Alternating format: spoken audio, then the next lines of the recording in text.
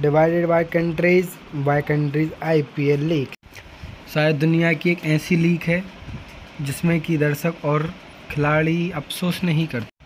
क्योंकि भाई ये लीग ही ऐसी है, एकदम पैसा वसूल। और गाइस आज की हमारी ये वीडियो में भी पैसा वसूल ही होने वाला है आप लोगों का। One of the best funny moments लेकर आए हैं। जैसे आज हम बताने वाले हैं कि पोलार्ड के मुँह पर कैसे पट्टी लग गई। और कैसे एम्पायर ने चोरी की? कैसे फील्डिंग बनी हँसी का कारण देख ही सकते हैं आप लोग। तो चलिए, शुरू करते हैं आज की हमारी ये वीडियो को। दोस्तों वेस्ट इंडीज़ के खिलाड़ी थोड़ी सनकी होते हैं। अरे, हम बाजा में बोले तो थोड़े से खिसके हुए। क्योंकि जिन बातों पर हम खिलाड़ी भड़क जाते हैं, उन बातों को ये खिलाड़ी बड़े ही सीरियसली लेते हैं। और जो बातें मज़ाक में होती हैं, वो उन बातों पर ये भड़क जाते हैं।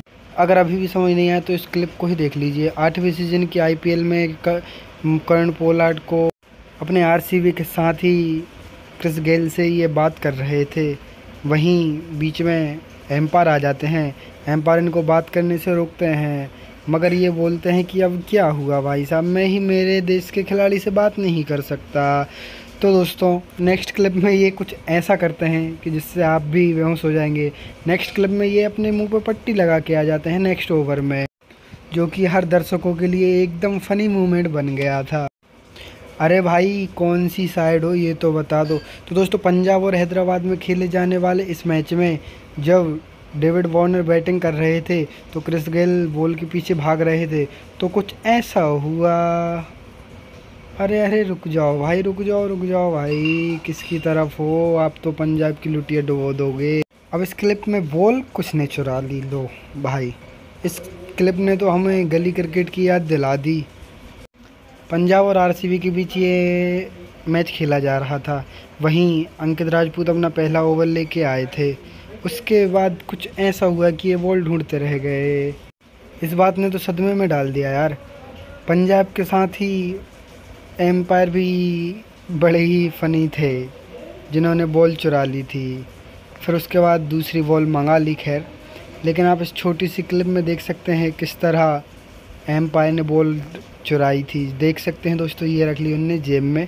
उसके बाद पूरी तरह ढूंढते रहे सब कहीं। लेकिन उन्हें याद आ गया था कि बॉल उनके पास है, इसलिए कुछ ज़्यादा हुआ नहीं। ऐसा रन आउट नहीं देखा होगा दोस्तों आपने। जी हाँ पैसा वसूल एकदम ऐसा रन आउट तो नहीं देखा होगा। हाँ माना कि आईपीएल में बहुत सारे रन आउट होते रहते हैं, लेकिन ये थोड़ा अजीब टाइप था। तो दोस्तों देख सकते हैं सी एस के और दिल्ली का ये मैच था। किस तरह से खिलाड़ी भाग दौड़ में लगे हुए थे, मुझे तो नहीं लगता कि रन आउट किया जा रहा था एक किसी को। दोस्त देख ही सकते हैं आप।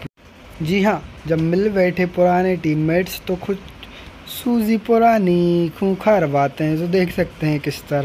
अब आप बोलेंगे कैसे? तो आप देख सकते हैं इस छोटी सी क्लिप में।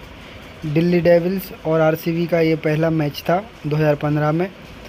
तो क्या हुआ? बारिश के कारण ये मैच रुक गया। उसके बाद ये सब लोग जाने लगे, कवर्स ढकने लगे पिच पर। उसके बाद कुछ ऐसा हुआ। युवराज सिंह बैट लेकर जा रहे थे। उनको छेड़ने क्रिस गेल पहुँच गए। आई एम सॉरी दोस्तों, क्रिस गेल जा रहे थे, युवराज सिंह उन्हें छेड़ने पहुँच गए। तो किस तरह से क्रिस गेल उनके पीछे बैट लेकर भागे, आप देख सकते हैं छोटी सी क्लिप में। हाँ जी तो दोस्तों, अगर आपको वीडियो पसंद आई हो तो वीडियो को लाइक करें, चैनल को सब्सक्राइब करें, ऐसे ही प्यार दिखाते रहें। मिलते हैं नेक्स्ट वीडियो में।